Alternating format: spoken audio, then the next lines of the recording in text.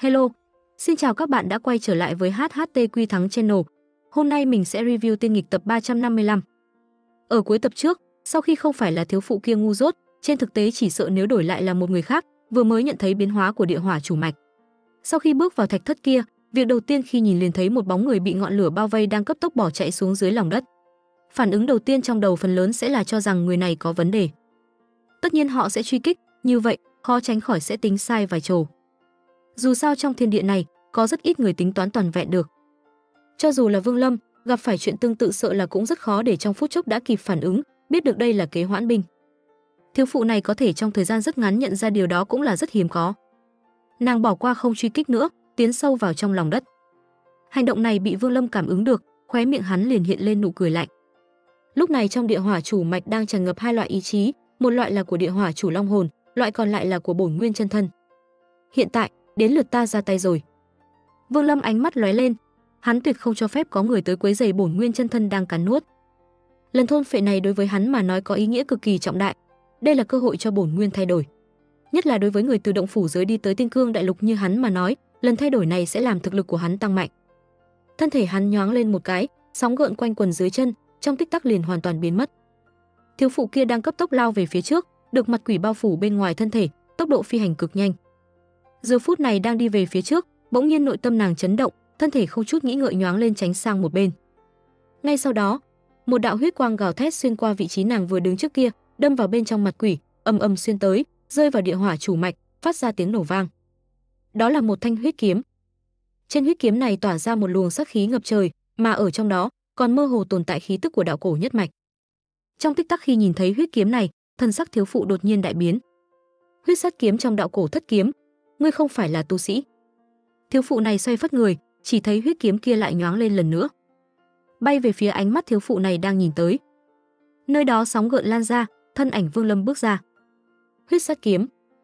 Vương Lâm ánh mắt lóe lên, hắn đã đạt được truyền thừa của Diệp Mịch, chẳng qua lại thiếu mất con mắt trái, trí nhớ không toàn vẹn. Không biết nhiều chuyện liên quan tới thanh huyết kiếm này. Hắn chỉ biết Diệp Mịch được đạo cổ hoàng tôn ban tặng, còn tên cụ thể của nó thì không biết.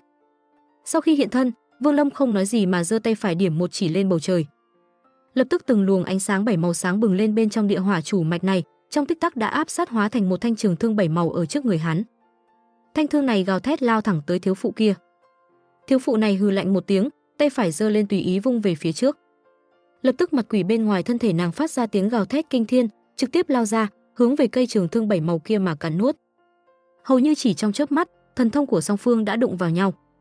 Trường thương bảy màu kia căn bản cũng không có chút lực chống cự nào, lập tức bị mặt quỷ khổng lồ cắn một cái rồi nuốt sạch, sau đó nhằm hướng Vương Lâm lao tới. Sắc khí trong mắt thiếu phụ kia càng đậm, cất bước tiến về phía trước, mang theo mặt quỷ kia chạy thẳng tới hướng Vương Lâm. Ngươi tự mình tới đây thì lưu lại luôn đi. Giọng nói âm lãnh vang vọng trong địa hỏa chủ mạch này, truyền vào tai Vương Lâm. Vương Lâm lui về phía sau, tay áo vung lên. Lập tức kia Huyền La Kim ấn rít gào bay ra đánh thẳng tới mặt quỷ kia. Từ trong kim ấn tỏa ra khí tức cường hãn, hơn nữa còn ẩn chứa một tia lực lượng của Huyền La. Giờ phút này trong tích tắc đã tới gần mặt quỷ, âm một tiếng liền nổ tung. Mặt quỷ kia phát ra tiếng kêu thê lương, tan thành mây khói trước mắt Vương Lâm. Kim quang vạn trượng bùng lên, kim ấn kia nhằm về phía thiếu phụ kia đánh tới. Trong nháy mắt khi nhìn thấy kim ấn này, thiếu phụ hít sâu một hơi, đồng tử trong hai mắt co rụt, thân thể sững lại. Cùng lúc đó, ánh mắt Vương Lâm lóe lên, thân thể nhanh chóng lui về phía sau, biến mất bên trong địa hỏa chủ mạch ở sau lưng hắn. Đồng thời, kim quang liền trở nên ảm đạm. Kim ấn ngừng tiến về phía trước, cùng huyết kiếm hoàn toàn biến mất. Chớ đuổi theo nữa, tại hạ đối với đại hồn môn không có địch ý, chẳng qua là muốn tu luyện một môn thần thông, cần mượn địa hỏa mạch dùng một chút. Giọng nói của Vương Lâm sau khi rời đi còn vang vọng bốn phía nơi này, truyền vào tâm thần thiếu phụ kia. Thiếu phụ này đứng đó, trầm mặc hồi lâu. Nàng ở trong tích tắc vừa rồi cảm nhận được khí tức khiến nàng kinh hãi của Đại Thiên Tôn truyền ra từ bên trong kim ấn. Luồng khí tức này khiến nàng liên tưởng tới rất nhiều việc. Hồi lâu, hàn quang trong mắt thiếu phụ này lại bốc lên. Dù có pháp bảo được Đại Thiên Tôn ban tặng thì đã sao, người này có huyết kiếm kia. Hiển nhiên là đạo cổ nhất mạch, như vậy này thân phận Đại Thiên Tôn ban tặng pháp bảo này đã quá rõ ràng rồi. Đại Thiên Tôn của cổ quốc mặc dù cũng cường đại nhưng còn chưa quản được tiên tộc ta. Mặc dù ta phán đoán sai lầm, sau lưng người này là Đại Thiên Tôn của tiên tộc, nhưng hắn muốn động tới địa hỏa chủ mạch của Đại Hồn môn, bị ta đuổi giết cũng là chuyện đương nhiên. Chuyện này về lý ta vẫn đúng, mà không phải là muốn giết hắn, chẳng qua chỉ muốn ngăn cản. cho dù là đại thiên tôn cũng không thể chẳng phân rõ phải trái như thế. Thiếu phụ này lầm bẩm, ngẩng phát đầu, lại một lần nữa lao vào sâu trong địa hỏa chủ mạch. Nữ tử này tính cách vô cùng quyết liệt, có thể đạt tới tu vi hiện nay cũng có liên quan rất lớn tới tính cách rất khó bỏ cuộc của nàng. Giờ phút này dù bị kia kim ấn chấn kinh nhưng rất nhanh đã hạ quyết tâm. Điểm này Đỗ Thanh còn lâu mới có thể sánh bằng. Ở một vị trí khác trong địa hỏa mạch, Vương Lâm dựa vào ý chí của bổn nguyên chân thân ở nơi này cảm nhận được hành động của thiếu phụ này, thầm than một tiếng. Tu sĩ chân chính bước vào không kiếp đều là hạng người tâm trí kiên định. Một cái pháp bảo do Đại Thiên Tôn dùng thần thông ngưng tụ không dễ gì khiến họ lùi bước. Cũng được, nếu nàng không lùi, vậy thì thử xem rốt cuộc tốc độ nhanh của ai nhanh hơn. Ánh mắt Vương Lâm lộ vẻ kiên định, thân thể thoáng một cái liền hoàn toàn biến mất. Sâu trong địa hỏa chủ mạch, bên trong đầu của chủ long hồn, bổn nguyên chân thân của Vương Lâm đang không ngừng mà hấp thu cắn nuốt. Tiếng gầm thét và dãy dụ của long hồn tựa như cũng hư nhược đi không ít. Chân thân của Vương Lâm ở trong đầu long hồn lúc này chỉ còn có mái tóc vẫn là lông chu tước, nhưng giờ phút này cũng là từ chân tóc cũng từ từ xuất hiện màu đen. Màu đen này như có ô quang bao phủ, từ từ lan dọc theo sợi lông chu tước, một khi nó lan hết toàn bộ thì bổn nguyên chân thân lúc này đã hoàn toàn ngưng tụ thành. Thời gian từ từ trôi qua, bổn nguyên chân thân của Vương Lâm đã hoàn toàn quên hết mọi nguy cơ bên ngoài. Toàn bộ tâm thần đều dung nhập vào việc cắn nuốt và hấp thu. Hắn đang chạy đua với thời gian, tranh đoạt từng tích tắc. Nếu thiếu phụ kia tới vào lúc hắn còn chưa ngưng tụ hoàn toàn được chân thân thì Vương Lâm lần này đã hoàn toàn thất bại, công sức đổ xuống sông xuống biển. Muốn tìm một cơ hội như thế này nữa là một chuyện cực kỳ khó khăn. Bổn tôn của hắn liên tục hiện ra trước mặt thiếu phụ kia, ngăn cản nàng tiến về phía trước. Thi triển đủ loại thần thông, nhưng thiếu phụ này mấy lần sau căn bản là coi như không nghe không thấy, toàn lực bay nhanh vào sâu trong địa hỏa chủ mạch. Thời gian chớp mắt đã trôi qua mấy giờ, khoảng cách giữa thiếu phụ kia tới nơi này càng ngày càng gần. Bổn nguyên chân thân của Vương Lâm ngồi trong đầu long hồn. Lúc này nó đã suy yếu tới một mức độ nhất định, tiếng gầm thét cũng từ từ giảm bớt, thân hình dãy dụa yếu dần. Nhưng tất cả chỉ là biểu hiện bên ngoài, hai mắt long hồn nọ lúc này đột nhiên tỏa ra ánh sáng chói mắt. Nó ngẩng phát đầu, phát ra một tiếng gầm cực mạnh, thân hình đã mơ hồ yên tĩnh đi lúc này lại chấn động. Cùng với tiếng gầm thét này, thân thể khổng lồ của chủ long hồn này tỏa ra hỏa quang vạn trượng. Tràn ra biển lửa ngập trời, nhanh chóng co rút lại với một tốc độ mà mắt thường cũng có thể thấy được. Thân thể từ lớn tới vô cùng trong tích tắc liền hóa thành vạn trượng, ngàn trượng, trăm trượng, mười trượng. Trả giá đất để co rút thân thể lại, chủ long hồn này bộc phát ra một lần phản kháng cực mạnh. Thân hình nó trong chớp mắt đã hóa thành 10 trượng, 5 trượng, 3 trượng, 1 trượng. Vừa điên cuồng co rút lại, ý chí lực của nó cũng ngưng tụ áp xúc lại. Cuối cùng khi đạt tới một trượng liền ầm ầm đè ép tới một lần nữa, hóa thành một quầng lửa lớn cỡ một nắm tay. Chân thân của Vương Lâm vào tích tắc khi long hồn đang co rút lại liền bị đây ra. Tới khi thân thể long hồn chỉ còn là một ngọn lửa cỡ nắm thay, nó mang theo một lần tấn công điên cuồng cuối cùng lao thẳng về phía mi tâm chân thân của Vương Lâm. ầm một tiếng, quầng sáng đó đụng vào mi tâm chân thân của Vương Lâm, trong nháy mắt dung hợp, chui vào trong cơ thể hắn. Trong nháy mắt khi quầng sáng này tiến vào, thần thức của Vương Lâm lập tức ầm vang, giống như lại trở thành phàm nhân, giống như một con thuyền nhỏ giữa biển khơi đầy bão tố. Một luồng ý chí cực kỳ cường đại giáng xuống, như muốn đánh tan thần thức của Vương Lâm, giống như muốn chiếm cả bổn nguyên chân thân của hắn. Luồng ý chí này chính là ý chí của Hỏa Long hồn. Nó bỏ qua thân thể bản thân, hóa thành quầng sáng cỡ nắm tay này, điên cuồng muốn đoạt xá, chiếm lấy bổn nguyên chân thân của Vương Lâm. Nó muốn biến chân thân này thành nơi chứa ý chí của nó. Ý chí này vô cùng mạnh mẽ, giáng vào thần thức của Vương Lâm giống như một bàn tay khổng lồ đang chuẩn bị bóp nát tất cả. Bên trong ý chí này tồn tại một vẻ bất khuất, còn như có cả tiếng gào thét như muốn khiêu chiến cả thiên địa. Vương Lâm mơ hồ cảm thấy nhiệt độ, nhiệt độ này kết hợp với ánh sáng hóa thành hỏa diễm trong thiên địa. Ý chí trong hỏa diễm này mang theo ý muốn thiêu đốt tất cả, thậm chí thiêu đốt cả bản thân. Mang theo vẻ điên cuồng, mang theo ý chí nghịch thiên không nói lên lời, bừng bừng bốc cháy trong thế giới này. Nó muốn thiêu đốt thần thức của Vương Lâm, khiến toàn bộ biến thành cho tàn. Hỏa diễm, Vương Lâm ra minh ngộ hỏa bổn nguyên cũng không phải là từ chu tước mà từ trong tâm của ánh nến. Ánh nến đó lắc lư trong gió, bên trong có hỏa diễm. Gió dù thét gào nhưng vẫn không thể thổi tắt ánh nến. Ánh nến lung lay như lúc nào cũng có thể tử vong. Hóa thành một làn khói xanh bay lên nhưng mỗi lần gió tới, ánh nến đều phản kháng, đều lay động kịch liệt. Nó không cam lòng chết đi, không cam lòng hóa thành một làn khói xanh. Hỏa bổn nguyên Vương Lâm ta minh ngộ chính là ý chí này. Là ý chí của ánh nến, đó cũng là ý chí tu đạo của Vương Lâm ta. Cả đời Vương Lâm ta đều là nghịch thiên mà tiến. Ý chí của ta ngươi dám diệt sao, ngươi có thể diệt sao? Bổn nguyên chân thân của Vương Lâm bỗng nhiên mở bừng đôi mắt. Bên trong tràn ngập hỏa diễm, miệng phát ra một tiếng gầm thét, thần thức trong cơ thể cũng bất khuất đối kháng với ý chí của Hỏa Long hồn này. Giống như ngọn nến, giống như ánh nến. Một tiếng gầm này vang vọng trong địa hỏa chủ mạch, tràn ra vẻ phản kháng, ở xa xa, thiếu phụ kia dường như nghe thấy, thân sắc biến hóa, nhanh chóng lao tới. Bổn tôn Vương Lâm theo sau, ánh mắt lóe lên. Hai người một trước một sau xé gió bay đi. Cả đoạn đường này thiếu phụ làm ngơ đối với Vương Lâm, triển khai tốc độ cao nhất. Tu vi của Vương Lâm kém nàng rất nhiều, không thể ngăn cản. Nhưng hắn còn có một thức thần thông là định thân thuật. Chẳng qua thần thông này chưa tới thời điểm cuối cùng hắn sẽ không bao giờ sử dụng. Thuật này tại thời điểm mấu chốt nhất sử dụng sẽ phát huy ra tác dụng lớn nhất. Thiếu phụ kia dùng tốc độ cao nhất phi hành khiến khoảng cách giữa nàng và bổn nguyên chân thân của Vương Lâm càng ngày càng gần, thần thức tản ra đã có thể rõ ràng thấy hết thảy. Thần thức của thiếu phụ kia trong tích tắc khi nhìn thấy bổn nguyên chân thân của Vương Lâm, sắc mặt đột nhiên đại biến. "Hả? Đây là, đây là bổn nguyên chân thân?" Hắn lại ở chỗ này mượn địa hỏa mạch ngưng tụ hỏa bổn nguyên chân thân. Thiếu phụ hít sâu một hơi, thân thể run lên, nhất là cánh tay phải đang giấu trong tay áo lại càng vỗ thức run rẩy, tâm thần chấn động. Không thua gì khi thấy Vương Lâm lấy ra pháp bảo do Đại Thiên Tôn ban tặng, thậm chí còn mãnh liệt hơn. Dù sao Đại Thiên Tôn nàng chưa từng thấy qua, nhưng bổn nguyên chân thân thì nàng cũng là đã từng gặp mấy lần.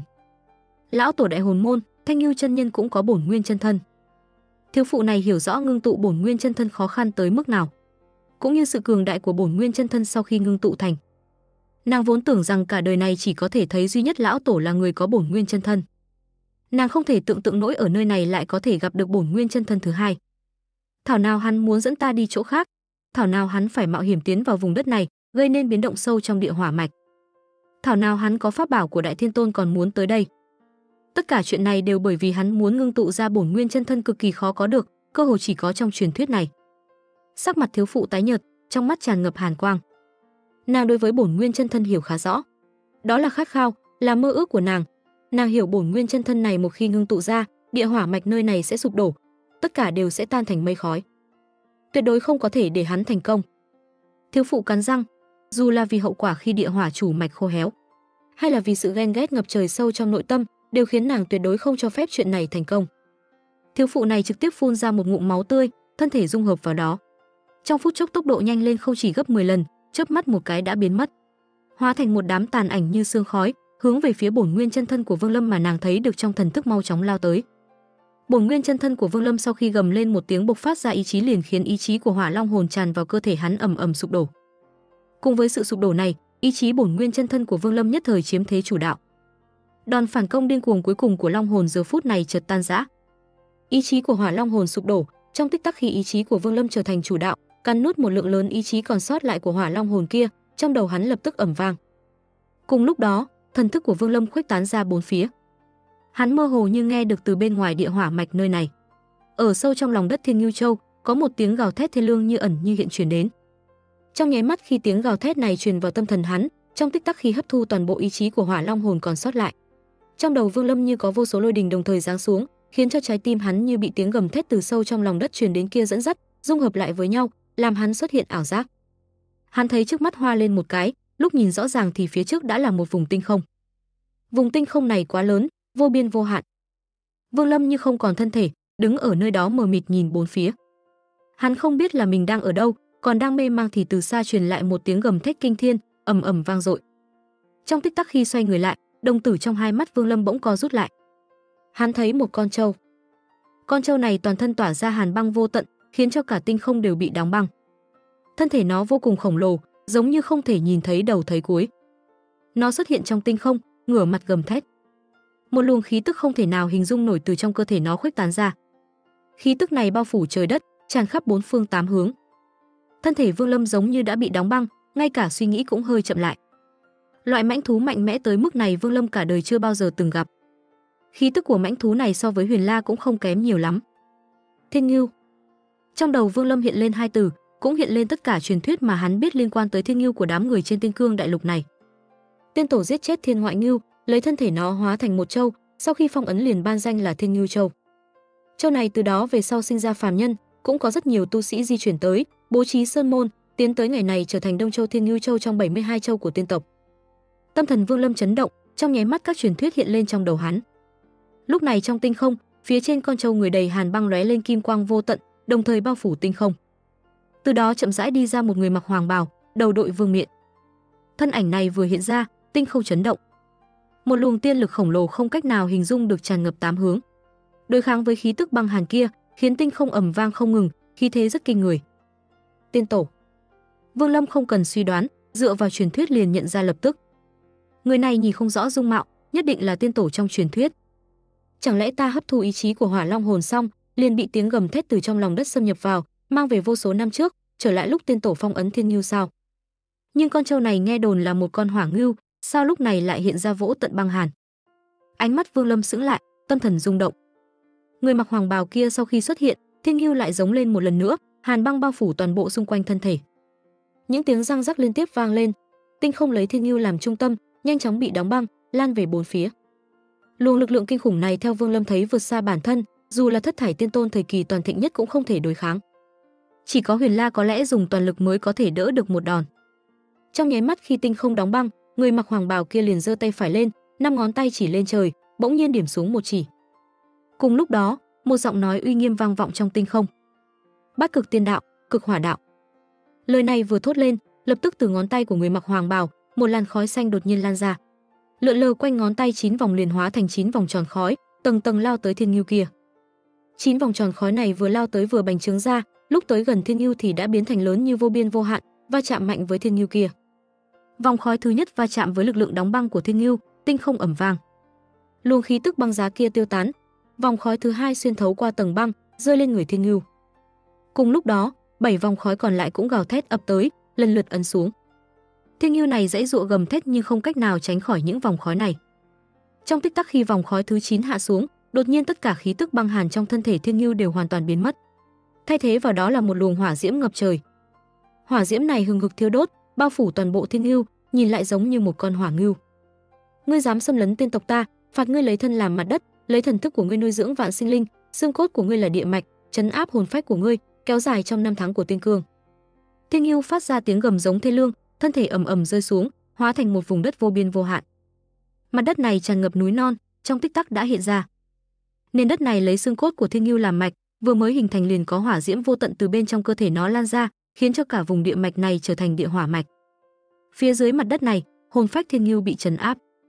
Chỉ còn tiếng gầm thét không cam lòng từ sâu trong nền đất truyền ra, nhưng dường như không có người nào có thể nghe được. Vương Lâm thấy tất cả mọi chuyện, trước mắt hắn mơ hồ, đợi tới khi rõ ràng thì lại thấy mình đang ở trong địa hỏa chủ mạch, bên tai lờ mờ giống như có thể nghe được tiếng gầm thét của thiên ngưu từ sâu trong lòng đất truyền ra. Vẻ mê mang trong mắt còn chưa tiêu tán, mái tóc bổn nguyên chân thân của Vương Lâm nhanh chóng biến hóa, lông chu tước chuyển thành màu tóc đen trong khoảng lớn. Bổn nguyên chân thân trong chớp mắt nữa sẽ ngưng tụ hoàn toàn. Đúng lúc này, ở phía trước bổn nguyên chân thân của Vương Lâm không xa, một vùng huyết quang ngập trời trong nháy mắt lao tới. Bên trong huyết quang là một thiếu phụ tuyệt mỹ. Trong tích tắc khi nàng nhìn thấy mái tóc bổn nguyên chân thân của Vương Lâm đang nhanh chóng thay đổi, trong mắt lộ sự lo lắng và sát khí. Ngọc thủ giơ lên, trong lúc tới gần, đang chuẩn bị thi triển thần thông, hủy diệt bổn nguyên chân thân còn một chút nữa là ngưng tụ hoàn toàn này. Phía sau thiếu phụ, sóng gợn quanh quần, chỉ thấy bổn tôn của Vương Lâm bước từng bước đi ra, hầu như thiếu phụ vừa giơ tay lên, chuẩn bị thi triển thần thông thì hàn quang trong mắt bổn tôn Vương Lâm liền lóe lên. Tay phải giơ lên, định thân thuật chuẩn bị suốt cả chặng đường lúc này trong nháy mắt bộc phát ra. Định thần thuật, định thiên địa, định tất cả thần thông, định tư duy, định vạn vật. Đó là định thần thuật của Vương Lâm, không phải là định thân thuật. Vào một khắc khi định thần thuật được thi triển ra, thân thể mềm mại của thiếu phụ kia đột nhiên dựng lại, thần thông bị cắt đứt, trong chớp mắt dừng lại. Lúc này Vương Lâm phun máu tươi, toàn thân tuôn ra một mảng huyết vụ lớn. Nhưng hắn không chút do dự, thân thể nhoáng lên một cái, không công kích thiếu phụ kia. Vương Lâm kết luận là người này nhất định có pháp bảo phòng hộ thân thể. Hắn trực tiếp thuấn di, xuất hiện phía trước thiếu phụ, ở chỗ bổn nguyên chân thân, dung hợp với bổn nguyên chân thân. Nguyên thần đầy đủ, trong chớp mắt này bổn nguyên chân thân của Vương Lâm đã hoàn toàn thay đổi mái tóc, trở thành một mái đầu tóc đen nhánh. Một luồng khí tức mạnh mẽ từ trong bổn nguyên chân thân của bộc phát ra. Tới tận lúc này, hỏa bổn nguyên chân thân của Vương Lâm mới ngưng tụ hoàn toàn. Mà giờ phút này, hai mắt thiếu phụ bỗng nhiên sững lại, thân thể lui lại phía sau. Dù phân thân và bản thể ngươi dung hợp thì cũng không có gì khác đâu. Nội tâm thiếu phụ nọ chấn động, nàng chưa bao giờ gặp phải loại thần thông giống như định thân thuật. Thuật này lai lịch khó lường, làm sao nàng có thể biết được? Ngay trong nháy mắt khi nàng cất lời, thân thể lao thẳng tới Vương Lâm thì hắn liền ngừng phát đầu, tay phải giơ lên. Bát cực tiên đạo, cực hỏa đạo. Hắn không có huyết mạch tiên tộc nhưng hắn lại có một thủ đoạn đặc thù khác. Đây chính là đại thần thông tiên tổ dùng để phong ấn thiên lưu Ở trong bổn nguyên chân thân của Vương Lâm có một bộ phận thần thức, vừa rồi rời khỏi huyễn cảnh vẫn còn hoảng hốt, giờ phút này sau khi dung hợp với bổn tôn, trong đầu liền hiện lên cảnh tượng tiên tổ giơ tay phải, thi triển thần thông cực hỏa đạo như hủy thiên diệt địa kia. Trong tích tắc khi Vương Lâm vừa dứt lời, phía sau lưng hắn bất ngờ xuất hiện hư ảnh của bổn nguyên chân thân. Từ xa nhìn lại, giống như có hai vương lâm đang đứng ở nơi đó, trông hơi quỷ dị. Bổn nguyên chân thân này do hỏa diễm tạo thành, tràn ngập luồng nhiệt độ cực cao, khiến cho không gian bốn phía xuất hiện sự vặn vẹo, cũng ẩn chứa bên trong một luồng ý chí kinh thiên. Luồng ý chí này giống như đế vương của hỏa diễm. Tay phải Vương Lâm giơ lên, hướng về phía thiếu phụ đột nhiên điểm một chỉ, bổn nguyên chân thân phía sau hắn cũng giơ tay phải lên điểm tới. Cùng lúc đó, từ ngón tay của Vương Lâm và bổn nguyên chân thân, một luồng khí xanh từ từ xuất hiện. Luồng khí xanh này rất nhạt, nếu không cẩn thận xem xét sẽ rất khó phát hiện ra. Sau khi nó xuất hiện liền vờn quanh ngón tay của Vương Lâm và bổn nguyên chân thân, từ từ chuyển động, giống như tạo thành một vòng tròn vậy. Cùng lúc đó, một luồng uy áp mênh mông từ trên người Vương Lâm và bổn nguyên chân thân ầm ầm bốc lên. Luồng uy áp này tràn tới khiến cho sắc mặt thiếu phụ lập tức biến đổi. Nàng có thể cảm nhận được rõ ràng, huyết mạch trong thân thể mình lúc này đang run lẩy bẩy. Hiện tượng kỳ dị này khiến cho thân thể nàng lập tức truyền ra những tiếng bùng bùng. Đây, đây là thứ thần thông gì? Không ngờ lại có thể khiến cho huyết mạch trong cơ thể ta chấn động. Đồng tử trong hai mắt thiếu phụ co rụt lại, giờ phút này không cần nghĩ ngợi, hai tay bắt quyết. Lập tức toàn thân trên dưới 3 vạn 6 ngàn lỗ chân lông liền tuôn ra hắc khí. Đám hắc khí này trong nháy mắt đã bao phủ toàn thân nàng, hóa thành 3 vạn 6 ngàn mặt quỷ. Gào thét tạo thành một dòng nước lao thẳng về phía Vương Lâm, giống như muốn ngăn cản Vương Lâm thi triển thần thông kinh khủng này. Hầu như trong chớp mắt khi thanh khí trên đầu ngón tay phải Vương Lâm lượn ra thì trong vùng hư vô mênh mông giữa Tiên Cương Đại Lục và động phủ giới, phân thân của Vương Lâm trong xác đá lúc này đột nhiên mở hai mắt, tay phải cũng giơ lên, hai mắt lộ vẻ tính toán nhưng trong nháy mắt này, ngoài đầu ngón tay phải của phân thân thanh khí ầm ầm tràn ra, lượn quanh ngón tay, nhanh chóng hoàn thành một vòng. Cùng lúc đó, ở sâu trong địa hỏa mạch tại Thiên Ngưu Châu, thanh khí trên ngón tay của Vương Lâm và bổn nguyên chân thân của hắn giống như trong u minh cảm nhận được luồng pháp tắc có mặt khắp Tiên Cương Đại Lục. Lập tức từ mở nhạt trở nên ngưng thật, trong nháy mắt khi ba vạn sáu ngàn mặt quỷ gào thét lao tới liền nhanh chóng vờn quanh ngón tay được một vòng. Trong tích tắc này, một vòng tròn khói như tơ tằm từ trên ngón tay Vương Lâm khuếch tán ra, lao thẳng về phía ba vạn sáu ngàn mặt quỷ. Cùng lúc đó, một vòng khói cũng lan ra từ ngón tay bổn nguyên chân thân phía sau Vương Lâm, cùng tới thần thông của Vương Lâm gào thét lao thẳng về phía trước. Một thức thần thông lại có hiệu quả gấp đôi. Đây chính là chỗ mạnh mẽ khi có được bổn nguyên chân thân. Vòng khói của Vương Lâm bay ra trước tiên, trong nháy mắt đã đụng vào ba vạn sáu ngàn mặt quỷ. Trong tích tắc khi va chạm, tiếng ầm ầm liền vang lên kinh thiên động địa. Hóa thành vô số sóng gợn trong nền đất này, điên cuồng khuếch tán ra bốn phía. Ầm ầm ầm ầm, tiếng chấn động đỉnh tai nhức óc vang lên, kèm theo đó là tiếng gào thét thê lương. Chỉ thấy ba vạn sáu ngàn mặt quỷ nọ phát ra tiếng gào thét kinh thiên, dưới vòng khói của Vương Lâm liền đồng loạt sụp đổ. Vòng khói này trực tiếp xuyên qua đại quân mặt quỷ, trong nháy mắt đã xuất hiện phía trước thiếu phụ. Thân thể thiếu phụ này run lên, lập tức vội vàng lui lại phía sau, đồng thời cắn lưỡi phun một ngụm máu tươi, hóa thành một thân hình màu máu cách nàng ba trượng. Tướng mạo của thân hình này cũng khá giống thiếu phụ, nhưng cũng không phải là nguyên thần mà là một loại thần thông mà thiếu phụ này cực kỳ hiếm khi sử dụng. Huyết nhân kia vừa xuất hiện liền phát ra một tiếng thét chói tai, hình thành sóng âm ầm ầm truyền tới. Cùng lúc đó, vòng khói Vương Lâm thi triển vừa xuyên qua đại quân ba vạn sáu ngàn mặt quỷ bất ngờ va chạm với nó. Âm một tiếng nổ vang, vòng khói sụp đổ, huyết nhân cũng tan rã. Một lực trùng kích mạnh mẽ tràn ra, đánh về phía Vương Lâm và thiếu phụ kia. Vương Lâm có thân thể đạo cổ, bị lực lượng này đánh và liên tục lui lại mấy bước, phun ra một ngụm máu tươi nhưng thần sắc không chút uể oải mà lại tràn ngập sát khí. Thân thể thật mạnh mẽ, không ngờ lại có thể đối kháng với lực trùng kích sau khi thần thông của ta sụp đổ tạo thành. Thiếu phụ kia cũng lui lại phía sau, khóe miệng tràn máu tươi. Nhưng tất cả còn lâu mới chấm dứt. Nếu Vương Lâm không có bổn nguyên chân thân thì giờ phút này tất nhiên đã bị rơi vào tình thế rất xấu. Nhưng bổn nguyên chân thân của hắn đã hoàn toàn ngưng tụ ra, vòng khói giống hệt của hắn do chân thân thi triển ra lúc này gào thét lao qua tầng tầng lực trùng kích, đánh thẳng về phía thiếu phụ. Cảnh tượng này khiến trong lòng thiếu phụ cảm thấy khổ sở. Nàng hiểu rõ bổn nguyên chân thân, biết đấu pháp với người có bổn nguyên chân thân chẳng khác gì DAU với hai người. Giờ phút này trong tích tắc khi vòng khói ập tới, thiếu phụ cắn răng, tay phải giơ lên. Lập tức một chiếc ô màu lam xuất hiện trong tay nàng. Từng luồng tiên khí tỏa ra từ chiếc ô, nó vừa xuất hiện, dường như đại địa cũng phải chấn động. Một luồng khí tức kinh khủng từ trong đó ầm ầm bộc phát. Chiếc ô này là vật bất phàm. Gầm lên một tiếng, chiếc ô trong tay thiếu phụ chuyển động, khí thế kinh thiên, đưa lên chắn trước mặt thiếu phụ, khiến cho vòng khói do bổn nguyên chân thân của Vương Lâm đánh ra ầm ầm va chạm với mặt ô. Tiếng chấn động lại ầm ầm vang lên, mặt đất run rẩy kịch liệt, cả đại hồn môn chấn động, thậm chí cả dãy núi bên ngoài đại hồn môn cũng đều phát ra tiếng ầm ì trầm trầm, những cái khe lan ra khắp mặt đất. Vòng khói sụp đổ, những trong nháy mắt khi nó bị hủy diệt, chiếc ô màu lam trong tay thiếu phụ giống như bị thương nặng, phát ra một tiếng rít chói tai.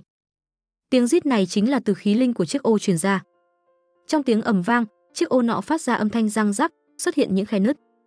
tự động co lại, cuối cùng hóa thành một đạo lam quang chui vào trong thân thể thiếu phụ. Thiếu phụ cực kỳ đau lòng, thân thể vội vã lùi lại phía sau, ngẩng đầu nhìn Vương Lâm, sát khí trong ánh mắt càng đậm.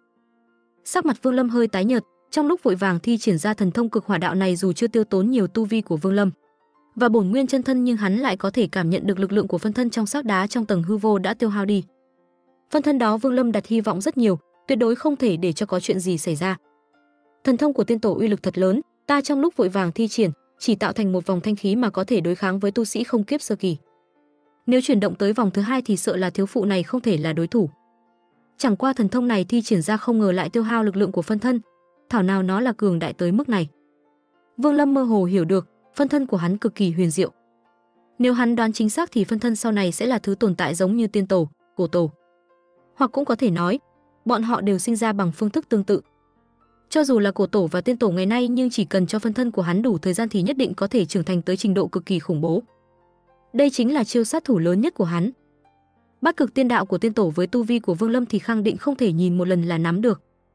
Điểm này sợ rằng chỉ có Đại Thiên Tôn may ra mới có thể làm được. Hắn sở dĩ có thể thi triển đều có liên quan tới phân thân. Thậm chí có thể nói, phân thân đó là do sau khi bổn tôn chứng kiến Bát cực tiên đạo liền hiểu ra, lại đưa trở về cho bổn tôn. Lúc đó Vương Lâm mới có thể thi triển ra thần thông kinh thiên động địa phong diệt thiên nghiêu cường hãn năm xưa. Thần thông này khi có 9 vòng thanh khí vờn quanh thì có thể phong ấn thiên nghiêu, thậm chí là phong ấn cả đại thiên tôn. Chẳng qua phân thân lúc này còn lâu mới đạt được trình độ đó. Ý niệm này lóe lên trong đầu Vương Lâm. Giờ phút này thiếu phụ đã thu hồi chiếc ô màu lam, thân hình đã ngừng lui lại phía sau, ánh mắt nhìn về phía Vương Lâm đậm đặc sắc khí. Hai mắt Vương Lâm lóe sáng, tay phải hừ lạnh một tiếng, vỗ vào hư không bên cạnh một cái. Một cái vỗ này khiến bổn nguyên chân thân cũng giơ tay phải đánh theo. Lập tức địa hỏa chủ mạch ầm vang. Địa hỏa chủ mạch này quá lớn, mặc dù đã mất đi long hồn, đang khô héo dần như trong thời gian ngắn cũng không thể khô héo hoàn toàn được. Giờ phút này Vương Lâm vỗ một cái, một luồng ý chí của hỏa bổn nguyên lập tức ầm ầm tràn tới. Cả địa hỏa chủ mạch bỗng nhiên chấn động, biển lửa mênh mông chợt bốc lên, giống như dùng tất cả sinh cơ, bộc phát ra trong chớp mắt. Dãy núi của đại hồn môn lập tức nóng như thiêu đốt, bốn phía mơ hồ bị địa hỏa tràn ngập. Tay phải Vương Lâm trực tiếp giơ lên, lập tức tất cả biển lửa còn sót lại bên trong địa hỏa chủ mạch từ bốn phương tám hướng ngưng tụ lại, hóa thành một bàn tay khổng lồ bằng lửa trước người Vương Lâm. Cùng lúc đó, phía sau Vương Lâm, Bổn Nguyên chân thân cũng giơ tay lên, bất ngờ ầm ầm tạo thành một trường ấn bằng lửa phía sau Vương Lâm. Tay phải Vương Lâm vung về phía trước, hai trường ấn khổng lồ tràn tới, hướng về phía thiếu phụ đánh tới. Ngay sau đó, Vương Lâm không xem kết quả mà thân thể nhoáng lên, dưới chân hiện lên sóng gợn, trong nháy mắt liền biến mất. Mặt đất chấn động, biển lửa điên cuồng, tiếng nổ ầm ầm truyền khắp cả Thiên Nhu Châu, khiến cho vô số tu sĩ chấn động tâm thần, chú ý tới nơi này. Sau khi thân ảnh Vương Lâm biến mất, một tiếng gầm cực kỳ phẫn nộ và chói tai vang vọng ở sâu trong lòng đất. Mà giờ phút này Vương Lâm đã dung nhập thiên địa, sử dụng xúc địa thành thốn, xuất hiện ở bên ngoài đại hồn môn, trên đỉnh Thiên Sơn. Hỏa bổn nguyên chân thân đã thành, tu vi của ta dù không có biến hóa nhưng thực lực đã tăng gấp đôi. Tuy rằng chưa thể đối đầu với không kiếp nhưng ta đã có lực tự về.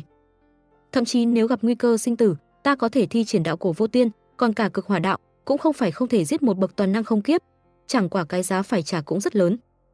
Vương Lâm đứng trên thiên sơn, ánh mắt lóe sáng, sóng gợn hiện lên dưới chân, đang muốn rời đi. Đạo hữu, tới đại hồn môn chúng ta làm khách, giờ đã muốn đi rồi sao? Một giọng nói già nua đột nhiên vang lên phía sau lưng Vương Lâm.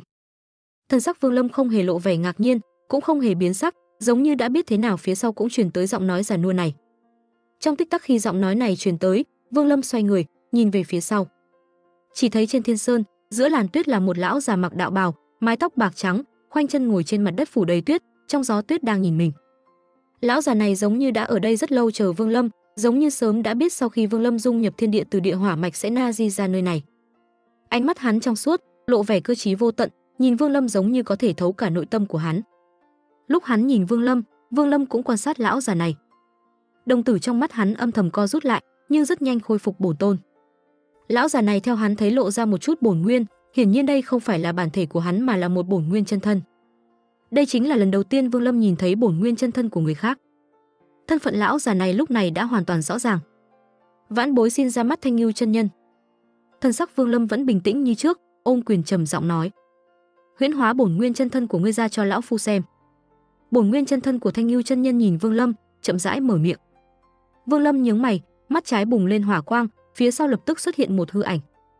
Trong nháy mắt hư ảnh đó liền ngưng thật, hóa thành bổn nguyên chân thân, giống hệt Vương Lâm, nhìn về phía chân thân của Thanh Nưu chân nhân. Trong tích tắc khi ánh mắt của hai bổn nguyên chân thân chạm nhau, bổn nguyên chân thân của Thanh Nưu chân nhân bỗng nhiên đứng lên. Một luồng khí tức kinh khủng từ trong chân thân đó lan ra, bao phủ cả thiên sơn này, khiến tuyết bị cuốn đi, cuồng phong gào thét. Đích thực là bổn nguyên chân thân, ngươi là người thứ ba lão phu nhìn thấy trong đời, trừ bản thân có được bổn nguyên chân thân. Vương Lâm trầm mặc không nói. Ngươi tên là Vương Lâm sao? Thanh Lưu chân nhân đột nhiên hỏi. Thần sắc Vương Lâm vẫn bình tĩnh như trước, giống như chuyện lão già này biết tên mình cũng không có gì đáng ngạc nhiên. Phàn San Mộng biết mình thì lão tổ của Đại Hồn môn biết cũng chẳng có gì là lạ. Đúng là Vương Mỗ. Vương Lâm thong dong nói. Người từ động phủ đi ra, quả nhiên không đơn giản. Bổn nguyên chân thân của Thanh Hưu chân nhân than nhẹ một tiếng. Bổn nguyên chân thân này của tiền bối là do bổn nguyên nào ngưng tụ mà thành? Ánh mắt Vương Lâm lóe lên, mở miệng hỏi. Chân thân của Thanh Hưu chân nhân mỉm cười, đối với câu hỏi của Vương Lâm không hề cảm thấy khó chịu mà cười nói: "Chân thân này của lão phu là Hàn bổn nguyên ngưng tụ thành." Là Hàn bổn nguyên, không phải là thủy. Ngươi hiểu không? Vương Lâm nhướng mày, nhìn kỹ chân thân của lão già này hồi lâu, chậm rãi mở miệng. Hàn là khí, thủy là chất lỏng. Khóe miệng Thanh Nưu chân nhân lập tức lộ vẻ mỉm cười, ánh mắt nhìn về phía Vương Lâm có vẻ tán thưởng không hề che giấu. Từ khi ngươi tiến vào trận pháp của Đại Hồn môn ta đã biết. Ta nhìn thấy ngươi tiến vào trong Viêm Mạch Sơn, thấy người nói chuyện với Phản San Lộ, thấy ngươi hấp thu địa hỏa. Ngươi ở trong Đại Hồn môn của ta, ngưng tụ ra hỏa bổn nguyên chân thân này, có thể xem là có duyên với Đại Hồn môn ta. Duyên phận như thế thì không cần phải đến đi vội vàng như vậy. Vương Lâm, trở thành trưởng lão của Đại Hồn môn ta có được không? Hai mắt Vương Lâm lóe lên, không nói gì. Trên thiên Cương đại lục này, ngươi trừ phi khai tông lập phái, nếu không đều phải trở thành đồng minh của một tông phái. Đây mới là con đường và phương pháp tốt nhất để ngươi trưởng thành, dung ngập Tiên Cương. Ngươi có thể không đồng ý nhưng sớm muộn gì ngươi cũng có ngày phải lựa chọn. Đại hồn môn ta là một trong cửu tông thập tam môn của Đông Châu. Trở thành trưởng lão của đại hồn môn ta, lão phu sẽ ban cho ngươi một ngọn núi, cho ngươi động phủ. Tất cả những gì ngươi cần đại hồn môn sẽ toàn lực cung ứng. Thậm chí đạo pháp của đại hồn môn chúng ta ngươi chỉ cần đạt đủ điều kiện là có thể tùy ý học tập. Thế nào? Thanh Nưu chân nhân nhìn Vương Lâm, chậm rãi mở miệng. Những lời nói này của Thanh Ngưu chân nhân rất có sức hấp dẫn. Hắn không đề cập tới bất kỳ sự uy hiếp nào, thậm chí chuyện vừa rồi Vương Lâm hủy diệt địa hỏa chủ mạch. Giao thủ với thiếu phụ dẫn động tới việc địa hỏa mạch thiêu đốt đại hồn môn cũng dường như không để ý tới. Nhưng hắn càng không nhắc tới việc này, càng nhìn như không để ý thì Vương Lâm lại càng hiểu rõ, đây là một áp lực vô hình. Nhưng thần sắc Vương Lâm vẫn như thường, trong lòng vô cùng bình tĩnh. Hắn từ lúc chuẩn bị tiến vào đại hồn môn đã có phán đoán với mọi chuyện có thể xảy ra. Về phương diện này hiển nhiên là hắn có đề phòng với Thanh Ngưu chân nhân. Trong nháy mắt khi đối phương xuất hiện, hắn thấy đối phương không đưa bổn tôn tới đây liền đã mơ hồ đoán ra mục đích của đối phương. Lấy chân thân này dẫn động Vương Lâm, cùng với tất cả những lời nói vừa rồi chẳng qua chỉ là khỏi động mà thôi, thủ đoạn chính thức còn chưa thi triển. Thấy Vương Lâm trầm mặc, Thanh Ngưu chân nhân lại mỉm cười, tiếp tục nói: "Còn nữa, lão phu có thể trợ giúp ngươi nhiều nhất. Bởi vì chúng ta đều có bổn nguyên chân thân, ta có thể nói cho ngươi biết những huyền bí liên quan tới bổn nguyên chân thân." Vương Lâm chờ đợi chính là những lời này. Ánh mắt hắn sững lại nhưng lại vẫn trầm mặc, không nói lời cự tuyệt hay đồng ý mà chỉ nhìn Thanh Nưu chân nhân. "Ta cho ngươi thời gian một nén nhang suy nghĩ." Thanh Nưu chân nhân giơ tay phải lên, vung về phía trước. Lập tức thanh tuyết bốn phía như bị ngưng tụ lại, hóa thành một cây hương trước người lão già này. Cây hương này không cần lửa đốt mà từ từ tan chảy, cũng không khác gì hương bổ tôn. Thời gian chậm chậm trôi qua, không bao lâu sau cây hương kia chỉ còn một nửa, đột nhiên Vương Lâm mở miệng. Ngươi làm sao biết khi ta rời đi nhất định sẽ hiện ra ở nơi này? Đại hồn môn của ta có thần thông đạo thuật tên là hồn diễn đạo. Dùng thuật này tính toán thì có thể tính ra nhiều chuyện. Tiên cương đại lục người đông có rất nhiều phương pháp tính toán. Trong tiên tộc ta, đạo huyền quốc sư của Thánh Hoàng là đệ nhất. Lực lượng của người này có thể tính toán ra đối kháng với ba vị đại quốc sư của hoàng tộc của quốc Tam Mạch. Thuật hồn diễn đạo của đại hồn môn chúng ta chỉ mới là bước đầu, trọng điểm không phải là tính toán người khác mà là thay đổi bản thân, khiến cho người khác khó có thể tính được mình. Ngươi nếu muốn học ta có thể truyền cho ngươi. Thời gian đã sắp hết, ta đang đợi quyết định của ngươi. Thanh yêu chân nhân mỉm cười nói. Vương Lâm nhìn thoáng qua cây hướng bằng tuyết đã không còn nhiều lắm, ánh mắt lóe lên, thân thể đột nhiên bước về phía sau nửa bước. Bổn Nguyên chân thân cũng cất bước, chỉ thấy dưới chân Vương Lâm hiện lên gợn sóng, thân ảnh trong phút chốc biến mất khỏi thiên sơn. Hành động đột ngột của hắn Thanh Nưu chân nhân không ngăn cản, thậm chí thần sắc cũng không biến hóa chút nào, nhìn Vương Lâm biến mất, khẽ lắc đầu. Trước khi cây hương tan hết, nếu ngươi là người năm đó tổ tiên khi di chuyển tới Thiên Ngưu Châu, chọn địa hỏa chủ mạch này để xây dựng đại hồn môn đã nói tới thì ngươi sẽ trở lại. Bởi vì ở nơi này có thần thông vào tin tức ngươi muốn có. Nhưng nếu như ngươi không trở về thì rõ là ngươi không phải. Nếu không phải, vậy thì Hắn nhắm mắt lại, thì thào tự nhủ. Cây hương bằng tuyết kia không còn nhiều lắm, từ từ bị hòa tan. Tại một nơi rất xa trên Thiên Ngưu Châu, với tu vi của Vương Lâm phi hành phải mất một tháng, có một vùng rừng xanh biếc trên ngọn núi. Trên bầu trời lúc này xuất hiện một vùng gợn sóng, thân thể Vương Lâm từ trong đó bước ra, đứng giữa không trung. Nơi này cũng tràn ngập núi non, không có quy tắc gì, dày đặc vô biên, điển hình cho địa hình của Thiên Ngưu Châu. Hồn diễn đạo, thuật này có tồn tại thật hay không thì thử một lần đã biết. Ánh mắt Vương Lâm lóe lên, nhìn lướt quanh bốn phía, không nhận thấy chút gì dị thường. Vùng phụ cận này có không ít sinh linh nhưng không có gì có thể uy hiếp hắn. Gió lớn nơi này gào thét thổi vào khu rừng khiến cây cỏ xào xào. Vương Lâm xoay người đang định rời đi thì trong tích tắc thân thể hắn đột nhiên chấn động. Hắn mơ hồ phát hiện ra được một thứ gì đó, cúi đầu nhìn về phía thung lũng phía dưới. Mặt đất nơi này rất tầm thường, nhìn như không có gì khác biệt. Nhưng đồng tử trong mắt Vương Lâm cơ rút lại, đột nhiên có cảm giác dựng tóc gáy. Hắn nhìn mặt đất phía dưới, tay phải giơ lên vung một cái. Cuồng phong gào thét thổi tới, cuốn đi rất nhiều cây cối trên dãy núi này.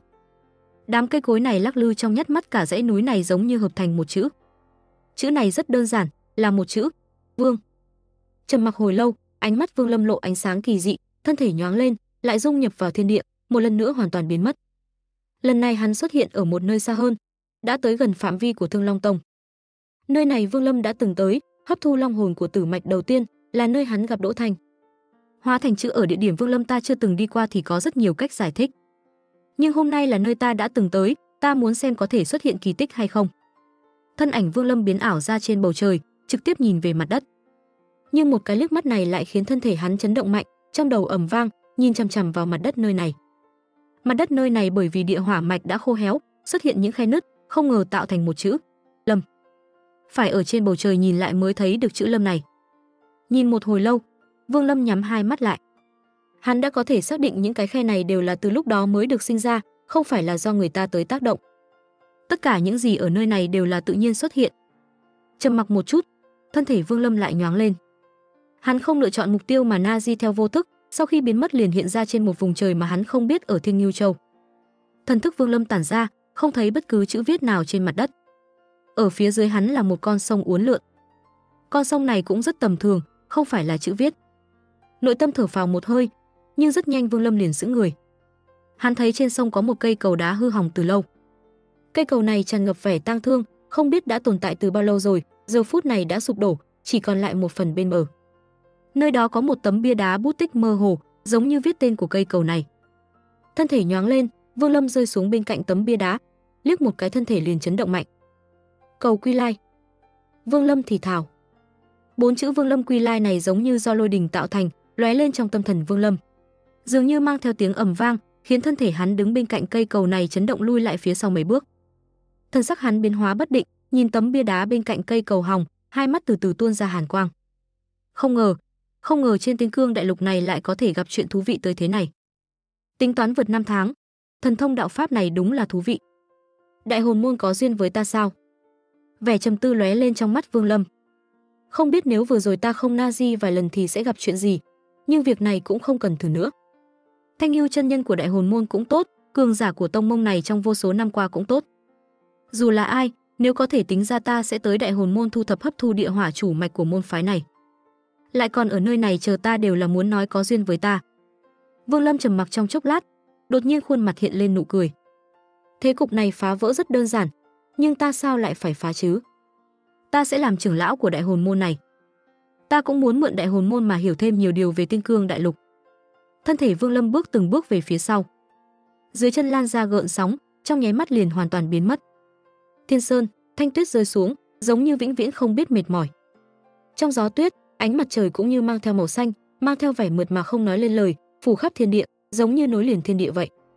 Trong gió tuyết, Thanh Nưu chân nhân ngồi khoanh chân, mái tóc bạc trắng trong gió không hề lay động, thậm chí một sợi cũng không bị thổi bay, trông khá kỳ dị.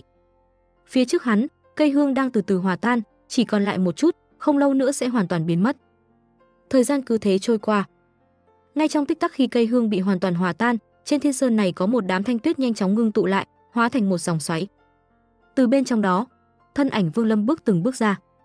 Và một khắc khi hắn đứng trên đỉnh núi tuyết, cây hương do tuyết tạo thành biến mất. Ngươi đã trở về. Thanh Hưu chân nhân chậm rãi mở hai mắt, trên mặt hiện lên vẻ vui mừng. Đây là công pháp hồn diễn đạo. Tay phải Thanh Hưu chân nhân giơ lên, chụp vào hư không một cái.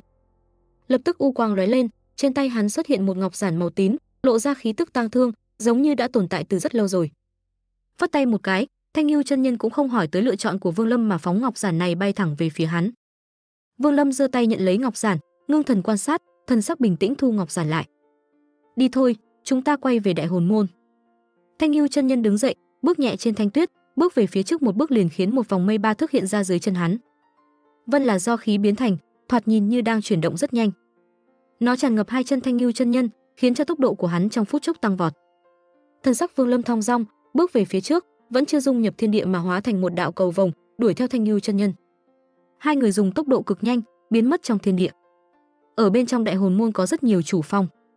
Viêm mạch sơn có địa hỏa chủ mạch lúc trước chỉ là một trong số đó mà thôi. Nếu từ trên trời nhìn xuống thì mơ hồ có thể thấy núi non nơi này như vô tận. Một vài đỉnh núi vươn cao, ngẫu nhiên có những ngọn núi bị sương mù bao phủ, trông có vẻ rất thần bí. Lại có những mặt quỷ khổng lồ bao phủ, phát ra hàng loạt tiếng gào thét, hình thành sóng âm truyền khắp bốn phía. 360 chủ phong hợp thành đại hồn môn.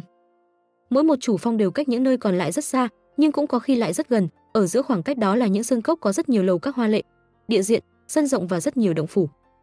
Đệ tử của đại hồn môn có tới 10 vạn, sinh hoạt trong tông phái khổng lồ này, tu hành rất nhiều công pháp thần thông. Thần thông của đại hồn môn cực nhiều, ngoài công pháp truyền thừa ra. Vô số năm qua nhờ hủy diệt và tranh đoạt với nhiều tông phái khác nên cũng chiếm được không ít đạo pháp truyền thừa của tông môn khác, hôm nay đã trở thành sở học của môn hạ đệ tử. Giờ phút này tại Viêm Mạch Sơn đỏ sẫm, cảnh sắc đã hoàn toàn thay đổi. Ngọn núi đã không còn là màu đỏ mà là một màu tím sẫm, có rất nhiều khe nứt hiện ra, trông tàn phá vô cùng. Thiếu phụ trên chủ phong này tên là Viêm Loan. Thân sắc nàng lúc này âm trầm, mái tóc hơi tán loạn, nhìn như có một nổi giận đang ẩn sâu trong cơ thể, tùy lúc có thể bộc phát ra. Hầu như trong tích tắc khi Vương Lâm và Thanh Hưu chân nhân từ xa đi tới, Viêm Loan lập tức phát hiện ra. Nàng xoay người, ánh mắt lạnh lẽo nhìn về phía đó, lập tức vẻ mặt bùng lên sát khí. Đệ tử Viêm Mạch Phong nghe lệnh, theo vi sư đi diệt sát kẻ giặc dám hủy diệt ngọn núi của chúng ta. Thân thể Viêm Loan nhoáng lên, hóa thành một đạo cầu vòng lao thẳng về phía trước. Phía sau nàng, hơn 10 đệ tử trung tâm vội vang đuổi theo, trong đó bất ngờ có cả Phản San Lộ và Phản San Mộng. Từ xa nhìn lại, 10 người thần trò này toàn bộ đều là nữ tử, mỗi người đều xinh đẹp động lòng người. Giờ phút này bay đi. Phía sau thân ảnh các nàng là một hư ảnh phượng hoàng, lao thẳng về phía Vương Lâm và Thanh Nưu chân nhân đang tiến lại từ ngoài đại hồn môn. Thần sắc Vương Lâm vẫn như trước nhưng trong lòng lại bất đồng. Lần trước là hắn lẻn vào bên trong, còn lần này là đường đường chính chính tiến vào. Cả đường đi hắn và Thanh Nưu chân nhân không nói một lời, giờ phút này khi còn cách đại hồn môn không xa, Thanh Nưu chân nhân đang muốn nói chuyện thì đột nhiên nhướng mày. Vương Lâm giờ phút này cũng phát hiện ra, chỉ thấy một con phượng hoàng hư ảo từ bên trong đại hồn môn gào thét lao ra. Đầu phượng là một thiếu phụ biến thành, dung nhan tuyệt đẹp nhưng lúc này bị sát khí bao phủ, chính là thiếu phụ đuổi giết Vương Lâm trong địa hỏa chủ mạch. Tên trộm cướp kia, ngươi hủy ngọn núi của ta, việc này không thể bỏ qua. Thiếu phụ này căn bản không cho Thanh Ngưu chân nhân nói chuyện. Tu vi nàng có thể tới bậc này, sao không nhìn ra được vấn đề? Lão tổ tự mình dẫn người về, xem ra không giống bắt giữ mà ngược lại như dẫn khách về vậy. Cho nên lúc này nàng mở miệng chính là lập tức nói rõ nhân quả, cho dù là lão tổ muốn ngăn cản cũng phải giải thích mới được. Dù sao nàng cũng là một trong những trưởng lão của đại hồn môn. Viêm Loan chẳng những dung nhan tuyệt mỹ mà còn rất có tâm kế. Nàng không một mình tiến tới mà còn mang theo tất cả đệ tử trung tâm. Nếu lão tổ muốn bênh vực đối phương thì chẳng khác nào đã bỏ qua một mạch của nàng. Mà bị đám đệ tử chứng kiến thì cũng không khác nào việc nào không còn có thể lưu lại đại hồn môn. Đây chẳng khác này là không để cho nàng một chút thể diện nào. Ngoài ra Viêm Loan này còn xuất ra hư ảnh Phượng Hoàng. Hư ảnh này cực kỳ khổng lồ, tỏa ra uy áp, mang theo một khí thế rất lớn trong đại hồn môn. Luồng khí thế này không phải là để cho lão tổ nhìn mà để dẫn động các trưởng lão ở chủ phong khác, cũng khiến một số người có giao hảo với nàng sau khi cảm ứng liền bay ra. Hành vi như vậy chẳng khác nào dưới con mắt của mọi người, đứng trên đạo lý mà nói thì dù lão tổ cũng không dễ dàng gạt đi được. Trong thời gian ngắn ngủi như vậy mà có thể nghĩ ra nhiều điều như thế đã đủ thấy tâm cơ của nàng rất bất phàm. Giờ phút này nàng gào thét lao tới, khiến cho từ các ngọn núi trong đại hồn môn cũng có nhiều khí tức cường hãn ầm ầm bốc lên, hóa thành thân ảnh một đám người bay tới nơi này. Đám người này tu vi cũng không giống nhau, cao nhất là không kiếp sơ kỳ, có cả người mới đạt không linh. Đa tạ lão tổ bắt tên giặc này trở lại. Tên trộm kia, ta muốn xem lần này ngươi làm sao mà trốn thoát. Thân thể Viêm Loan nhoáng lên, lao thẳng về phía Vương Lâm. Thiếu phụ tuyệt mỹ này hóa thành đầu phượng hoàng, trong nháy mắt đã ập tới. Từ xa nhìn lại, con phượng hoàng này như nuốt cả trời DOT vậy. Một luồng khí tức không kiếp ầm ầm tràn ra từ con phượng hoàng này. Chẳng qua luồng tu vi này có chút không yên, trong tích tắc bộc phát liền giống như tụt xuống. Hiển nhiên là thiếu phụ tuyệt mỹ này vừa rồi đánh một trận với Vương Lâm đã bị thương. Hơn nữa sau khi nhìn thấy cảnh ngọn núi bị hủy hoại thì lại càng chịu lửa giận công tâm, thậm chí không kịp chữa thương đã lại thấy Vương Lâm xuất hiện. Hai mắt Vương Lâm lóe lên hàn quang, chẳng nhưng không lui lại mà còn cười ha hả. Tiếng cười vang vọng, trong nháy mắt truyền ra. Hắn nếu đã chuẩn bị gia nhập Đại Hồn môn, trở thành trưởng lão thì cũng cần lập uy. Lão tổ Đại Hồn môn biết mình đến từ động phủ giới, hơn nữa cùng biết mình là đạo cổ nhất mạch. Do vậy Vương Lâm cũng không cần ẩn giấu nữa, lập tức bộc phát ra. Còn chuyện sau này thế nào thì là việc lão tổ phải lo. Trong lòng đã có quyết định, thân thể Vương Lâm bước từng bước về phía trước, tay phải giơ lên, nắm quyền đánh mạnh vào hư không. Thần chấn, binh tu liệt vị. Một quyền này ầm ầm đánh lên thiên không, lập tức khiến bầu trời ầm vang, vặn vẹo trong phạm vi lớn. Giống như hóa thành một dòng xoáy khổng lồ, nhanh chóng chuyển động. Dường như thiên địa vận chuyển khiến vạn vật vận chuyển theo, chỉ có mình Vương Lâm là bất động. Thiên địa chuyển động, dòng xoáy vặn vẹo xuất hiện trong tích tắc. Phượng Hoàng do Viêm Loan biến thành cũng bị kéo vào, xuất hiện vẻ vặn vẹo. Hư ảnh của Phượng Hoàng dường như bị dòng xoáy hấp dẫn. Giống như sắp sụp đổ vậy lúc đầu Vương Lâm thi triển thần thông vô tiên này nghênh chiến chiến lão quỷ, tu vi chiến lão quỷ cũng là không kiếp sơ kỳ. Hôm nay Vương Lâm lại thi triển lần nữa, thuật này lại càng kinh người. Trong tích tắc khi thần chấn xuất hiện, nhiều trưởng lão đại hồn môn bốn phía thần sắc đại biến. Cho dù là Viêm Loan lúc này đồng tử trong mắt cũng co rút lại. Nàng không phải giao thủ với Vương Lâm lần đầu, nhưng chưa bao giờ thấy hắn thi triển thuật này. Khí tức đạo cổ. Đây là khí tức của tu sĩ cổ quốc. Người này, người này không phải là tu sĩ tiên tộc ta. Hắn là tu sĩ cổ quốc. Thanh Hưu chân nhân nhướng mày, thầm than, tay phải bỗng nhiên hướng về phía bầu trời vung lên, một luồng khí tức minh mông biến ảo ra trong thiên địa. Bao phủ bốn phía, hoàn toàn ẩn giấu khí tức đạo cổ của Vương Lâm, khiến cho bên ngoài không thể cảm thụ được. Yêu thuật, phong hỏa thành sơn. Vương Lâm đứng trên bầu trời, thân ảnh cao vời vợi, mái tóc bạc tung bay, thoạt nhìn tràn ngập uy nghiêm. Hắn vươn tay bỗng nhiên thu lại, quyền biến thành trưởng, vung về phía trước. Trong tích tắc khi hắn vung tay lên, hư ảnh phượng hoàng bên ngoài thân thể Viêm Loan lập tức tan nát. Thiên địa vặn vẹo xoay tròn, từng luồng gió lửa thiêu đột chợt hiện ra, vờn quanh Vương Lâm, hình thành tám trụ khói thông thiên, yêu khí tung hoành, bốc lên như lang vên. Có những tiếng gầm giống thê lương từ trong trụ khói truyền ra, bao phủ bốn phía. Tám trụ khói kia không yên mà vờn quanh Vương Lâm, giống như gió lốc lao thẳng tới Viêm Loan, bao phủ toàn bộ thân thể nàng trong cơn lốc, khiến tiếng động ầm ầm ầm vang lên kinh thiên động địa. Cảnh tượng này khiến trưởng lão bốn phía nhìn thấy thần sắc trở lên vô cùng ngưng trọng. Thần thông của Vương Lâm quá mức kinh người, dù là bọn họ vào một khắc nhìn thấy cũng có cảm giác kinh hãi. Đây thuần túy là thần thông của đạo cổ, không giống nửa điểm với thần thông của tiên tộc ta.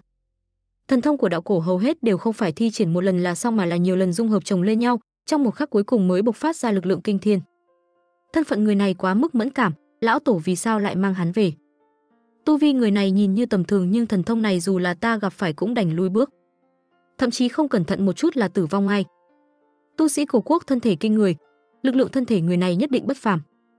Mái tóc viêm loan tung bay toán loạn, ở trong bốn cơn lốc do gió lửa biến thành, trước mắt hôn ám, bên tai truyền tới những tiếng hí giống, còn có lực hút vô tận giống như muốn xé nát thân thể nàng. Một luồng cảm giác nguy cơ sinh tử bất ngờ truyền vào tâm thần. Hắn rốt cục là ai? Thần thông hỏa diễm lúc trước vốn đã kinh người, nhưng không ngờ hắn lại còn có thần thông kinh khủng khác. Viêm Loan không kịp nghĩ nhiều, cắn lưỡi phun một ngụm máu tươi, cánh tay vung lên liền bắt lấy đám máu tươi này, vuốt mạnh một cái. Lấy huyết mạch của ta, triệu mời tiên tổ anh hồn phá không tới nơi này, hồn huyễn trở về. Giọng nói của Viêm Loan vang lên chói tai, mang theo một luồng lực xuyên thấu, truyền vào cơn lốc này, rơi vào tai mọi người ở bên ngoài. Chỉ thấy Viêm Loan bóp nát đám máu trong tay, khiến từng luồng sương mù máu nhanh chóng lan ra kẽ ngón tay nàng. Một lượng lớn sương mù máu liên kết lại, tạo thành một con đường máu đỏ sẫm. Con đường máu này lan tới hư không vô tận, không biết thông tới đâu. Một tiếng gầm trầm trầm từ sâu trong con đường ầm ầm truyền ra trong nháy mắt. Chỉ thấy sâu trong con đường máu giống như mở ra một không gian kỳ dị. Một thân hình đầy khí tức huyết sắc, bên ngoài thân thể bao phủ vô tận oan hồn thế lương từ không gian đó bước ra. Trong tích tắc khi thân hình này bước lên trên con đường máu, thiên địa biến sắc. Là đệ cửu tiên tổ, hồn huyễn thuật của Viêm Loan không ngờ lại có thể triệu hồi cả đệ cửu tiên tổ. Nàng từ lúc nào lại có được ý chí tới cường độ này? Đệ cửu tiên tổ, trong đại hồn môn có một bức bích họa miêu tả cuộc đời giết chóc của hắn. Phong ấn 10 triệu đạo hồn, có thể nói là cường giả đời đi. Đệ cửu tiên tổ năm đó tu vi đạt tới đỉnh phong, khiêu chiến đạo nhất thiên tôn thất bại. Bị đạo nhất thiên tôn giết chết nhưng niệm tình hắn nên không diệt hồn, cho hồn hắn quay trở lại tông môn. Những tiếng xôn xao liên tiếp vang lên trong tích tắc khi thân ảnh tràn ngập huyết sát kia xuất hiện trên con đường máu phía sau Viêm Loan. Thân ảnh huyết sát đó khuôn mặt không rõ ràng, ngay cả thân thể cũng mơ hồ. Nhưng huyết sắc khí lại bốc lên kinh thiên động địa. Trong chớp mắt khi xuất hiện liền bước về phía trước một bước. Một bước này hạ xuống khiến thiên địa ầm vang.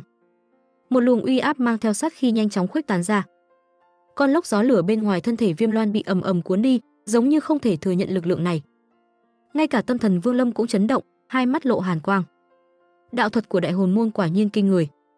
Vị trí trưởng lão này đối với ta mà nói có vô số lợi ích. Dù là hồn diễn đạo hay là hồn huyễn đạo thì cũng cực kỳ cường đại, ta phải học mới được. Ánh mắt Vương Lâm lóe lên, dưới sắc khí và uy áp kinh khủng này, thân thể lui lại ba bước, khí tức đạo cổ trong cơ thể chợt bốc lên. Nhất thời ở phía sau Vương Lâm hiện ra một hư ảnh đạo cổ khổng lồ. Trong nháy mắt hư ảnh này ngưng thật, thoạt nhìn giống hệt chân thân. Hắn mặc một bộ giáp cổ xưa, hình dáng không ngờ lại giống hệt Vương Lâm. Vừa lui lại phía sau, tay phải Vương Lâm liền thu lại, ngón trỏ vươn ra, điểm về phía trước một chi. Ma đạo, xanh tử nghịch động. Một chỉ này khiến thần sắc Viêm Loan lại biến đổi. Nàng cảm nhận được rõ ràng thân thể vốn có sinh cơ mênh mông, lúc này nhanh chóng biến thành tử khí. Một cảm giác suy yếu tràn ngập toàn thân nàng. Cùng lúc với một chỉ này của Vương Lâm, một luồng tử khí nồng đậm đột nhiên xuất hiện. Tử khí này là của vô số sinh linh tử vong ở Đại Hồn môn trong những năm qua, trong một chỉ này liền dung nhập trở thành một bộ phận của tử khí. Tử khí như biến, cuồn cuộn dâng trào, khiến cho bên ngoài Đại Hồn môn như hóa thành một vùng biển chết, tràn ngập những tiếng gào thét thê lương. Dưới thần thông này, các trưởng lão của Đại Hồn môn ở bốn phía thần sắc đại biến, thân thể không cần nghĩ ngợi, đều vội vàng lui lại phía sau. Chỉ có những người có tu vi cực cao thì mới dám đứng tại chỗ, nhưng thần sắc cũng rất ngưng trọng. Ánh mắt họ nhìn về phía Vương Lâm đã lộ vẻ kiên kỵ rất đậm. Tử khí này trong tích tắc đã trở nên dày đặc, nhưng còn lâu mới chấm dứt.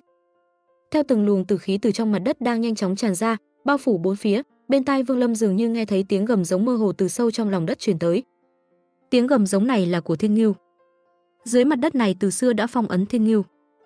Ngày đó Thiên Ngưu giống như bị vây trong trạng thái chết giả, thân thể hóa thành mặt đất, thần thức hóa thành linh hồn nuôi dưỡng vạn vật. Linh hồn đó dù bị trấn áp nhưng nó vẫn có một luồng ý chí bất khuất, luôn luôn tồn tại. Giờ phút này Vương Lâm dùng đạo pháp nghịch chuyển sinh tử, từ sâu trong lòng đất liền bộc phát ra một luồng tử khí cực kỳ khổng lồ, đủ để bao trùm cả thiên địa. Luồng tử khí này ầm ầm bộc phát, khiến mặt đất chấn động, giống như cả thế giới bị một vùng sương mù che phủ. Từ khí nồng đậm tràn lên bầu trời, dung hợp với biến chết, bất ngờ ở trước người Vương Lâm hóa thành một con thiên ngưu khổng lồ. Thân sắc thiên ngưu này dữ tợn, hai mắt đỏ bừng, mang theo một tiếng gào thét không cam lòng tử vong, kinh thiên động địa. Thiên ngưu này vừa xuất hiện liền khiến cả đại hồn môn hoàn toàn chấn động, thân thể các trưởng lão ở bốn phía run lên, ánh mắt lộ vẻ không thể tin nổi. Thiên ngưu, đây, đây chẳng lẽ là thiên ngưu? Hắn không ngờ lại biến ảo ra được hình thái của thiên ngưu. Đây là chuyện không có khả năng, làm sao có thể thế này? Ngay cả một số lão quái vốn không xuất hiện, chỉ tỏa ra thần thức trong đại hồn môn lúc này tâm thần cũng chấn động. Đều từ trong ngọn núi bay ra, nhìn về phía Thiên Ngưu mang theo tử khí kinh người trên trời. Thậm chí có một số lão quái tu vi thâm sâu, cảm thấy trận đánh này chẳng đáng nhìn lúc này cũng biến sắc. Ở sâu nhất trong đại hồn môn, trên một ngọn núi trí cao lúc này có một lão già đang ngồi khoanh chân. Hình dáng hắn giống hệt như Thanh Ngưu chân nhân. Hắn chính là bổn tôn của Thanh Ngưu chân nhân. Hai mắt hắn vốn nhắm nghiền, giờ phút này đột nhiên mở ra, lộ vẻ kích động hiếm thấy. Hồn có thể dẫn động cả Thiên Ngưu, người mà tổ tiên nói chính là hắn rồi. Vô số năm trước tổ tiên sở dĩ di chuyển đại hồn môn tới Thiên Ngưu Châu này, sở dĩ chọn địa hỏa chủ mạch này đều là vì đợi người này. Người này có thể dẫn động Thiên Ngưu đến từ động phủ rời. Người này chính là hắn. Hắn không phải là người của Tiên Cương Đại Lục, hắn đến từ động phủ giới. Thậm chí hắn ở một mức độ nào đó cực kỳ giống với 72 mãnh thú bị phong ấn dưới 72 châu của tiên tộc. Thiên Ngưu đến từ thiên ngoại, cũng không phải là sinh linh của Tiên Cương Đại Lục. Người này cũng vậy, cho nên hắn mới dẫn động được hồn phách Thiên Ngưu. Trong tích tắc khi Thiên Ngưu tử khí kinh thiên xuất hiện, sắc mặt Viêm Loan trắng bệch. Nàng không thể nào ngờ nổi trận đấu pháp này lại có thể diễn biến tới mức này. Một tiếng rít gào vang lên trong thiên địa, chỉ thấy Thiên Ngưu đầy tử khí kia ngửa đầu gầm nhẹ, cuốn động cả biển chết, thân thể lao thẳng về phía Viêm Loan. Đồng thời thân ảnh trên con đường máu phía sau lưng Viêm Loan lúc này cũng bước ra nửa bước, lúc này đã đi liên tiếp ba bước. Mỗi một bước hạ xuống, sắc mặt Viêm Loan càng thêm tái nhợt nhưng một luồng uy áp càng ngày càng mạnh lại từ trong thân ảnh đầy huyết sắc kia ầm ầm tràn ra, đối kháng với tử khí của Thiên Ngưu. Tiếng ầm ầm vang vọng trong thiên địa. Thiên Ngưu đầy tử khí cùng với thân ảnh huyết sắc kia dù chưa tới gần nhau như uy áp đã va chạm trong không trung. Trong tiếng chấn động này, dường như thiên địa nghịch chuyển. Thân ảnh huyết sắc kia vặn vẹo, cuối cùng tiêu tán. Nhưng Thiên Ngưu mang theo tử khí cũng tan nát, tử khí này tiêu tán bị cuốn đi. Thân ảnh Thiên Ngưu đầy tử khí này chỉ là một bộ phận ý chí của Thiên Ngưu biến thành, còn xa mới bằng được Thiên Ngưu thật sự. Nhưng dù là thế, lực lượng ẩn chứa trong nó cũng không hề kém thần, yêu, ma, cổ đạo vô tiên. Vương Lâm thì thào, vươn ngón tay biến thành trường, vỗ nhẹ một cái về phía trước. Một trường này khiến lực lượng tam tộc cổ trong thân thể hắn nhanh chóng dung hợp, cuối cùng hóa thành một luồng.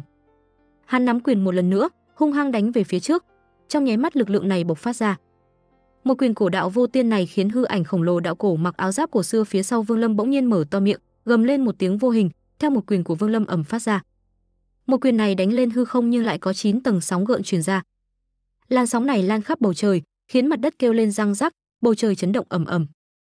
Các lầu các trên mặt đất, còn có tất cả mọi thứ ở ngoài đại hồn môn lúc này đều lấp lánh ánh sáng màu xám, nhanh chóng hóa thạch. Viêm Loan phun một ngụm máu tươi, thân thể nhanh chóng lui lại phía sau. Giờ phút này sắc mặt nàng đại biến, ánh mắt nhìn về phía Vương Lâm đã tràn ngập sợ hãi. Mắt thấy chín tầng sóng gợn trong nháy mắt sẽ đánh thẳng tới Viêm Loan, đột nhiên một tiếng quát khẽ vang lên trong thiên địa. "Đủ rồi, Viêm Loan, ngươi lui ra, không được vô lễ với trưởng lão mới của chúng ta. Còn về Viêm mạch phong của ngươi thì lão phu sẽ bồi thường." Đến đây thì cũng khép lại tập 355 tiên nghịch. Xin chào và hẹn gặp lại các bạn ở những video tiếp theo.